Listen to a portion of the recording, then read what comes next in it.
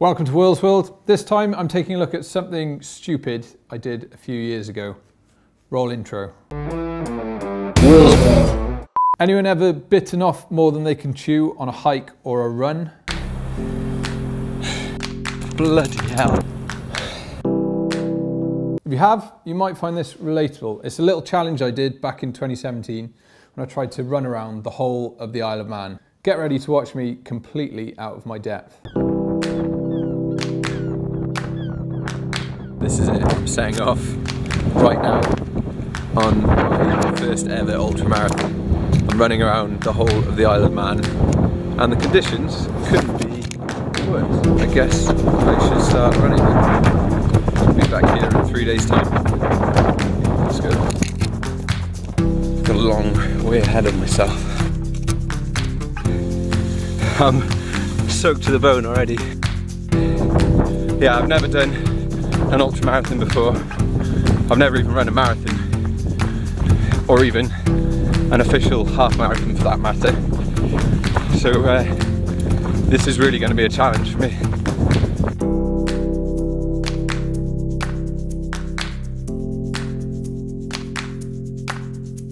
Already decided to reward myself with a sausage roll. And it's starting to come out.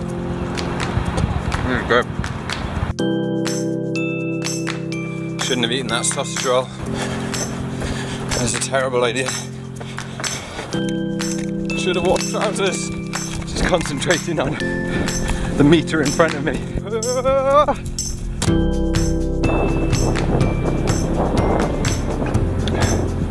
it going.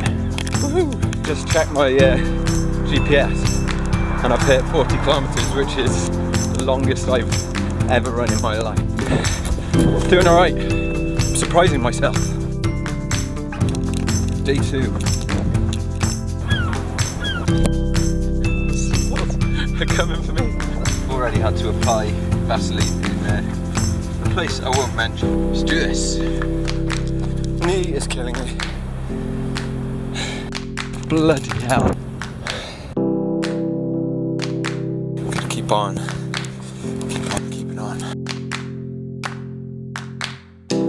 Now. Last day. Hello, Seal. Same story. Another 50 kilometers or something like that. And I'm absolutely ruined. Still running. I'm so tired. Oh. I just about did a whole marathon on a beach. Come on. Last push. Downhill. Come on. Come on. Oh. Right, let's finish strong. Come on. Oh.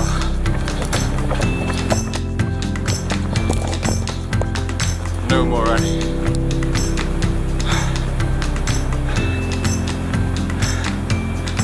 Ninety-five miles. Done. In three days. That was the hardest thing I've ever done.